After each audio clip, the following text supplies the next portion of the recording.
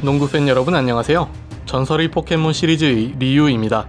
어떤 스포츠 종목에서건 기본적인 실력과 함께 멘탈은 상당히 중요한 영역을 차지하며 경기를 결정지을 수 있는 순간 이런 정신적인 부분은 특히 더 핵심적인 역할을 하게 되죠. NBA에서 굉장한 커리어를 쌓았던 그리고 현재도 만들어가고 있는 선수들은 실력도 실력이지만 이러한 강인한 멘탈도 함께 갖추고 있습니다. 오늘 소개드릴 이 선수는 한때 샤킬 오닐의 후계자로 불릴 정도로 굉장한 피지컬에 실력까지 겸비했던 빅맨이었으나 성숙하지 못한 멘탈 때문에 기대치만큼 성장하지 못했고 이런저런 이슈도 많이 만들어냈었는데요. 요즘 NBA 트렌드에선 보기 힘든 정통 센터의 계보를 이어나갈 뻔했던 바로 아기 멘탈 앤드류 바이넘 선수입니다.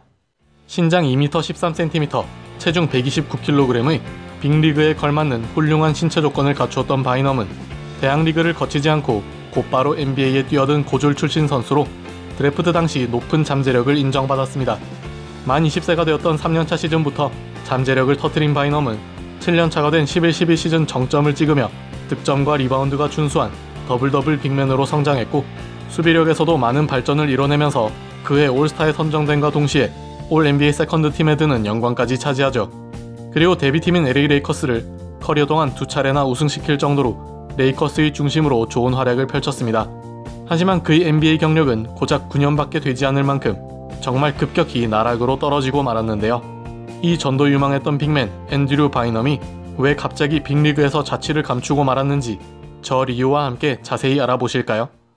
1987년 10월 27일 미국 뉴저지의 플레인스보로 타운십에서 두 형제 중 둘째로 태어난 앤드류 바이넘은 그가 한 살밖에 되지 않았을 때 부모님이 이혼을 하면서 어머니와 함께 살게 되었습니다. 고등학생 때 여러 학교를 옮겨 다니면서 농구를 배웠고 마지막 주니어 시절과 졸업반 시절 2년 동안 세인트 조셉 고등학교에서 엄청난 활약을 펼쳤는데 주니어 시절 평균 16득점, 13리바운드, 6블록을 기록했고 졸업반 시절엔 평균 22.4득점, 16.8리바운드, 5.3블록으로 자신의 능력을 한 단계 더 끌어올렸습니다. 그리고 2005년 전미 최고의 고교 선수들이 모이는 맥도날드 올 아메리칸 게임에도 초청받아 9득점 5리바운드를 기록하기도 했죠. 고등학교를 졸업한 바이넘은 원래 농구 장학금을 받고 코넥티컷 대학교로 진학하고자 했으나 고심 끝에 이를 접고 과감히 2005년 NBA 드래프트 참가를 결정합니다.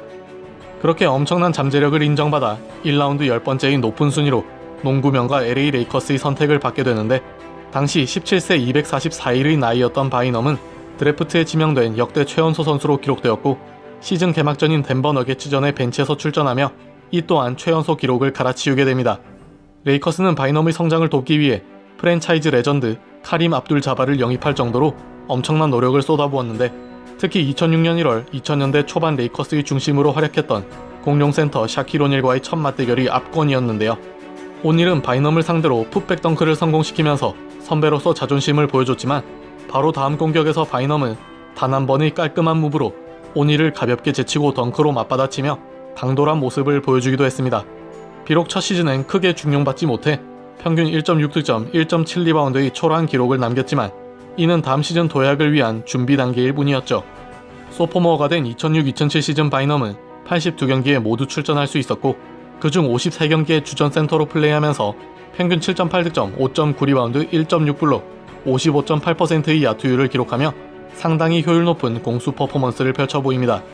커리어 첫 선발로 나왔던 피닉스 선즈와의 10월 경기에선 18득점 9리바운드를 기록하며 좋은 출발을 알렸고 11월 미네소타 팀버울브스전에서는 시즌 high 20득점에 14리바운드 3블록을 기록하면서 커리어 첫 double double까지 달성해버립니다. 2년차 때에도 여전히 NBA에선 가장 어린 선수였고 그럼에도 상당히 발전한 모습을 보인 바이넘은 단숨에 여러 팀들의 관심을 받게 되는데요. 당시 뉴저지 네츠는 팀의 에이스 제이슨 키드까지 트레이드 카드로 활용해 바이넘을 데려오려고 했을 정도였고 인디애나 페이서스도 그에게 상당한 관심을 보였죠. 이에 바이넘을 놓칠까 불안했던 레이커스는 곧바로 그의 루키 계약 옵션을 행사해 트레이드는 절대 불가능하다고 못 박아버리며 바이넘은 점점 더 가치를 인정받기 시작하는데요.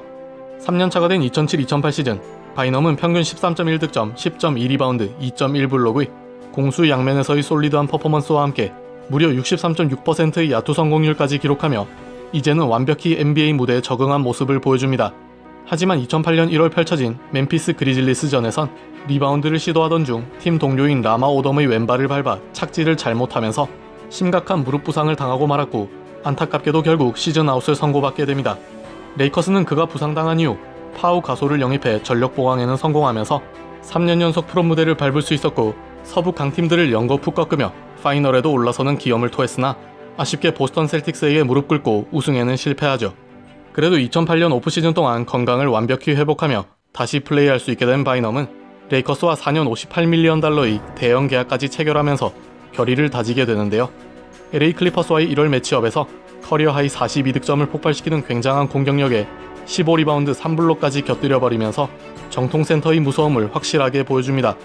그러나 같은 달 펼쳐진 샬럿 밥캐츠전에서 제럴드 월레스에게 hard 파울을 범하는 만행을 저질렀고 월레스는 이 때문에 갈비뼈 골절에 폐 손상까지 겪게 되는 엄청난 사태로 번지고 말았죠.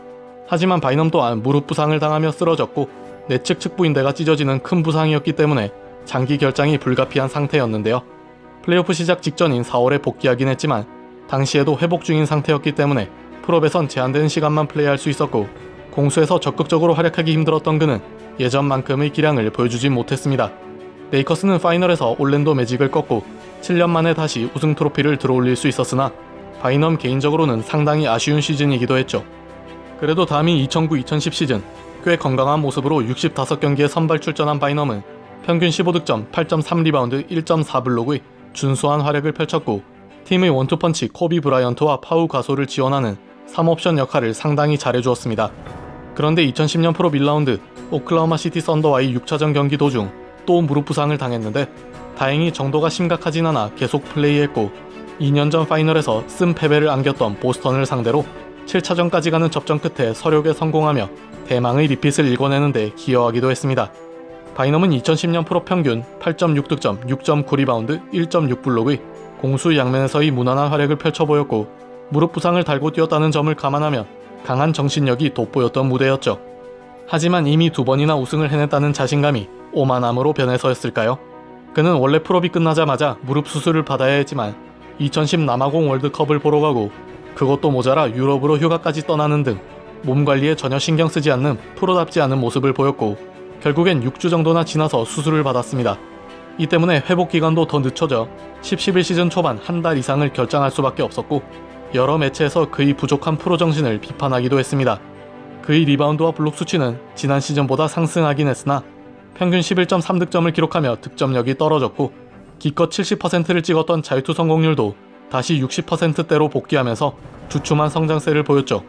레이커스 또한 플옵 진출에는 성공했지만 2라운드에서 만난 델러스 매버릭스에게 무려 0대4 sweep을 당하는 굴욕을 맛보며 기대했던 3peat은 물거품이 되고 말았는데 델러스와의 마지막 경기에서 바이넘은 JJ 바레아에게 레슬링 기술을 연상케 하는 듯한 hard 파울을 범해 팬들로부터 비난을 받았고 다음 시즌 4경기 출장 정지 징계에 2만 5천 달러의 벌금까지 물게 됩니다. 그렇게 10-11 시즌이 끝나고 팀을 이끌던 명장 필 잭슨 감독이 은퇴하면서 마이크 브라운 감독이 새로 부임했고 11-12 시즌 바이넘은 더 중용받기 시작하는데요. 이에 평균 18.7득점, 11.8리바운드, 1.9블록이라는 커리어 최고의 개인 성적으로 보답하면서 팀의 2옵션으로 활약하던 파우 가솔보다 더 높은 득점력을 과시하기도 했고 리바운드와 블록 그리고 야투율까지 더 좋았죠. 1월 펼쳐진 휴스턴 로켓츠와의 경기에선 커리어 첫 20-20을 달성하고 4월 샌안토니오 스퍼스전에서는 무려 30개의 리바운드를 따내는 등 계속해서 좋은 활약을 펼친 바이넘은 생애 첫 올스타에도 선정되는 영광까지 차지합니다. 하지만 어이없는 3점 슛을 날려 벤치에 앉게 되고 4쿼터 작전 타임 때 모이지 않아 벌금까지 물게 되는 등 돌발 행동과 멘탈적인 문제는 시즌 내내 계속되었고 이 때문에 불안불안한 시즌을 치를 수밖에 없었던 레이커스 서부 3위의 괜찮은 성적으로 또 한 번 플옵 진출에는 성공했지만 이번에는 2라운드에서 만난 오클라호마에게 무릎 꿇고 아쉽게 시즌을 마치게 됩니다. 그리고 결국 2012년 오프시즌 슈퍼맨 드와이트 하워드가 엮인 트레이드에 포함되며 커리어 두 번째 팀인 필라델피아 세븐티식서스로 가게 되는데 여기서 또다시 말썽을 일으키고 맙니다. 바이넘은 양쪽 무릎 상태가 딱히 좋지 않아 치료를 받기 시작했고 시즌 시작 전 트레이닝 캠프에도 참가하지 않도록 팀 차원에서 그를 배려해 주었는데요. 그러나 이러한 호의에도 불구하고 바이넘은 볼링을 치다가 무릎 부상을 더 악화시켰고 올스타 브레이크 전에 돌아올 수 있다는 기대는 시즌 아웃 선고를 받고 처참히 무너지고 말았죠. 어이없게 12-13 시즌 전체를 통으로 말아먹은 바이넘. 하지만 여기서 그치지 않고 부상 회복 훈련조차 게을리 받으며 나에게는 자유가 있다라는 망언까지 일삼으면서 팬들을 더욱더 화나게 만들기도 합니다. 그렇게 바이넘은 필라델피아에서 유니폼 착의샷만 남기게 되었고 2013년 오프시즌 클리블랜드 캐벌리어스와 계약을 체결해 커리어 세 번째 팀으로 옮기게 되는데요. 부상에 대한 우려 때문에 13-14 시즌 출전 시간에 제한을 두고 플레이했고 평균 8.4득점, 5.3리바운드, 1.2블록의 겉보기엔 쏠쏠한 스탯을 찍은 것처럼 보였지만 야투율이 고작 41.8%밖에 되지 않았습니다. 게다가 제 버릇 개 못 준다는 말처럼 여전히 팀 분위기를 해치는 행위를 일삼았고 결국 보다 못한 구단에서 바이넘을 자체적으로 시즌아웃 처리시켜 버리기까지 합니다. 그리고 시즌 도중 시카고 불스로 트레이드된 그는 곧바로 방출당하는 굴욕을 맛보게 되죠. 이후 인디애나 페이서스에서 전력 보강 차원에서 바이넘을 영입하긴 했으나 또 부상 때문에 두 경기밖에 뛰지 못하고 시즌이 끝났는데요.